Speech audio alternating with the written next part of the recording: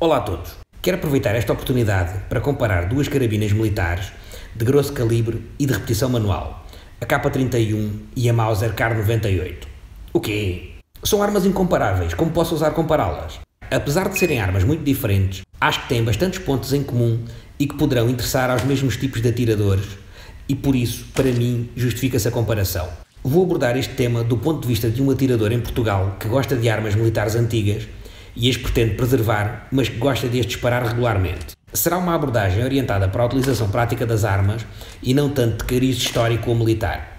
Estas armas podem ser adquiridas em Portugal por detentores da licença para uso e porte de arma de caça, classe C, de colecionador e tiro desportivo em conjunto com a licença federativa B ou C.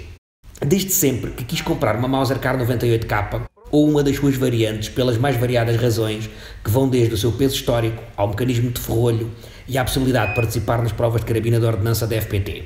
Como devem calcular, logo consegui obter a licença federativa B, comprei imediatamente hum, uma K31. Então porquê é que alguém que sempre desejou uma Kar 98 acaba com uma K31? A resposta mais óbvia está relacionada com o preço. Uma K31 em excelente estado e com os números de série todos certos custa significativamente menos que uma Mauser em bom estado, mesmo sem os números de série coincidentes. Para além disto, cada munição de calibre 7,5 × 55 mm custa cerca de metade do preço de uma em calibre 8 mm Mauser. Como disparo bastante nas provas e nos treinos, este foi um fator decisivo na escolha da K31 face à Kar 98. Para além do preço, a precisão também teve bastante peso na escolha da K31, que, em idêntico estado de conservação, é considerada mais precisa que a K98 por inúmeros atiradores. Fui advertido por vários atiradores desportivos para o facto de haverem muitas Mauser que não agrupam bem. Isto pode dever-se ao mau estado do cano, ao mau estado geral das armas ou ao gatilho muito pesado. A K31 é também mais evoluída tecnicamente que a K98. Dispõe de um carregador amovível com capacidade para 6 munições, face ao depósito fixo da Mauser com capacidade para apenas 5 munições. Também considero o modo de operação da K31 mais evoluído tecnicamente que o tradicional ferrolho rotativo da K98. A K31 não tem ferrolho tradicional. No seu lugar, tem um manobrador linear para um obturador de cabeça rotativa. O acionamento linear do manobrador da K31, extremamente suave, torna a sua operação mais simples, agradável e rápida.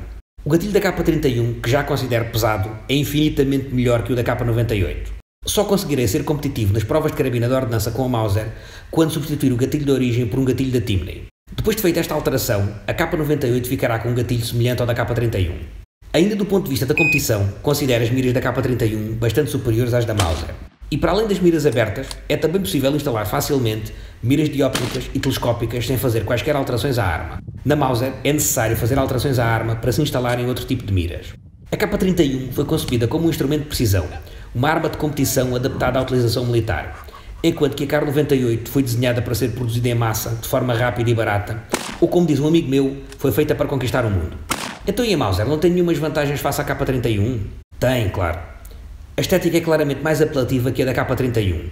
Acho a caixa da culatra e o manobrador da K31 muito pouco apelativo esteticamente. Para além deste pormenor, considero, no geral, a K98K mais bonita que a K31.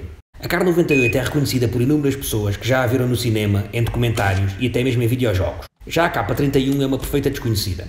Os airsofters têm um fascínio quase doentio com a K98 enquanto que mostram grande apatia para com a K31. O cool factor da K98 é imensamente superior ao da K31. O peso histórico da K98 é também muito superior ao da K31. Diversas variantes da Mauser foram adotadas por exércitos de inúmeros países, incluindo Portugal. A K98 foi protagonista de várias guerras e ajudou a escrever a história mundial. Já a K31 nunca foi utilizada em nenhum conflito militar, nem foi adotada pelas Forças Armadas de nenhum país, à exceção do seu país de origem, a Suíça. Foram produzidas mais de 14 milhões de exemplares da K98, face a apenas meio milhão de exemplares da K31. Talvez a maior vantagem da K98 face à K31 seja o seu ferrolho.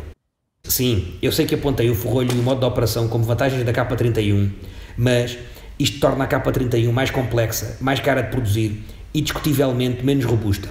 Ainda hoje, o ferrolho da Mauser é copiado e utilizado em muitas armas de repetição, nos mais variados calibres. Isto atesta perfeitamente a qualidade e robustez do seu design. O sistema da K31 não foi copiado ou utilizado em nenhuma outra arma. O peso e a ergonomia também são pontos fortes da Mauser. Associada à ergonomia, tenho que referir a menor sensação de recuo da Mauser quando comparada com a K31. Uma vez que a Mauser dispara um cartucho mais potente e é mais leve que a K31, só posso explicar esta sensação com a ergonomia superior da Kar98. A maioria dos atiradores que experimenta ambas as armas prefere disparar a Mauser. No meu caso particular, prefiro a K31 porque consigo melhores resultados com ela. Em relação ao prazer de utilização, não tenho qualquer preferência. O sistema de municiamento por clipes também é melhor na Mauser. Apesar dos clipes da Mauser terem apenas capacidade para 5 munições, a sua operação é bem mais fácil e rápida. Depois de retiradas todas as munições do clipe, Basta fechar o forrolho para que este seja injetado das suas guias na caixa da culatra sem se danificar. No caso da K31, os clipes têm a capacidade para 6 munições, mas, como o carregador está muito fundo na caixa da culatra, a sexta munição é difícil de prender no carregador e, se esta ficar solta na caixa da culatra, irá provocar um encravamento por dupla alimentação. Para além disto, é necessário retirar o clipe antes de fechar o obturador para não o danificar nem causar encravamentos. Ainda no campo de ergonomia, a Mauser volta a ganhar no acionamento da segurança manual. É possível acioná-la com o polegar da mão direita sem modificar a forma como se empunha a arma em posição de disparo.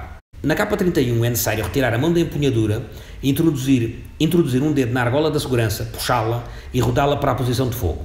Para terminar o capítulo das vantagens da capa 98, tem que apontar o calibre. Não pretendo comparar as características balísticas do calibre 7,92 x 57 mm com as do 7,5 x 55 mm.